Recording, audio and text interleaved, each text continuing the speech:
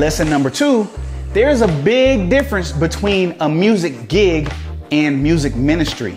A music gig is you show up, you set up your equipment, you play, you pack your stuff up, and you get your check and you get out. Music ministry, you set up your keyboard, you play, you might even put some money in the offering. Eventually, you might join that church. You might even show up for Bible study when you don't have to play. You might show up for prayer meetings. Oh, and you're not sleeping with all the girls in the choir, and you're not trying to sleep with all the girls on the dance team. I told y'all, whenever I'm wearing some John Deere gear, you already better be ready for me to be raw and just give you the dirty truth. I know how this works, especially musicians who just looking for music gigs. There really is a difference between a music gig and music ministry. In fact, let me tell y'all this quick story. So there was this really small church, they were looking for musician, and I wasn't really feeling how much they were willing to pay me, but I went on and took it anyway because I just needed the extra cash. I ended up joining this church. They ended up doubling my pay year after year after year. I mean, my, my income quadrupled. So one day, this pastor calls me in the office and says, KC, I'm sorry to tell you this, but from here on out, your position will not be a paid position. Bro, I was like, what the hell you talking about? I mean, I, I was thinking that, but that, that's not what I said. So I left the church and I went with one of my homeboys. He had another like side church. So I just hustling, doing my thing, playing at different churches. Then one day I felt this strong pull. Like I felt like God was telling me to go back to that church that was gonna have me playing for free. So anyway, I go back to the church and I explain to the pastor, hey, listen, I'm not really sure, I can't really explain everything, but I feel like this is where I need to be. So I started playing at the church for free. I mean, I was teaching choir rehearsal, training the band members. I was doing all the stuff I was doing when I was making all that money. I was doing it for free. And I did this for about a year. So y'all wondering what was I doing to make money?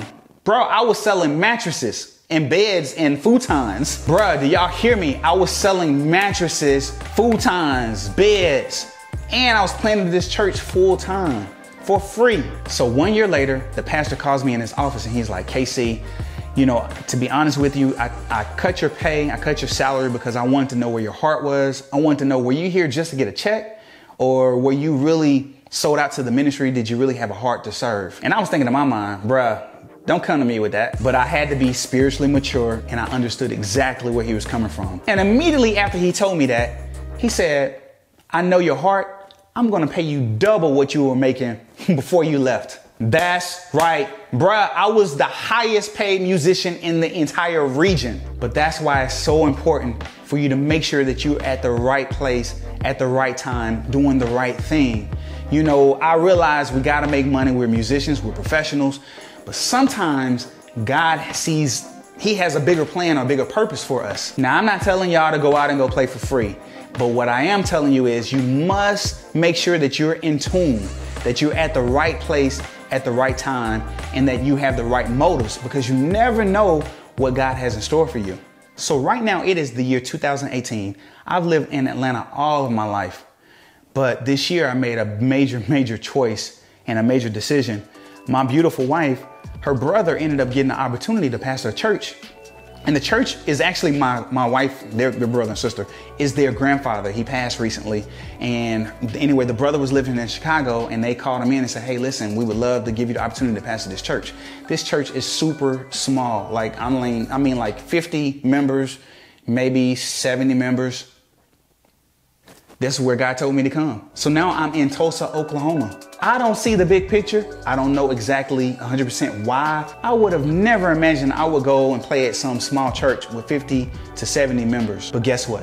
As soon as he told me he was going to be the pastor of that church, I told him, I said, man, listen, whatever you need, I got you. So we decided to sell our home. We put it on the market. And within three days, we got an offer. The offer was double what we paid for the house. I don't think y'all understand.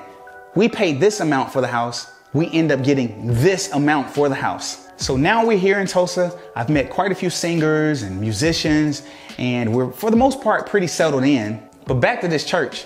When I got there, they didn't even have a drum set.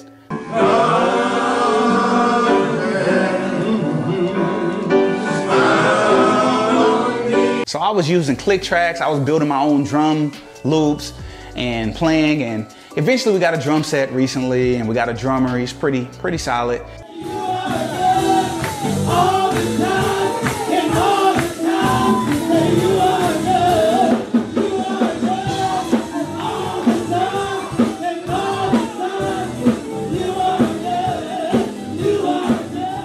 So I go from playing at these churches that have six and seven musicians now to just me and a drummer. Y'all know I don't like to close out any video without letting you know that today is a new day, a new life, and a new opportunity to become a better you.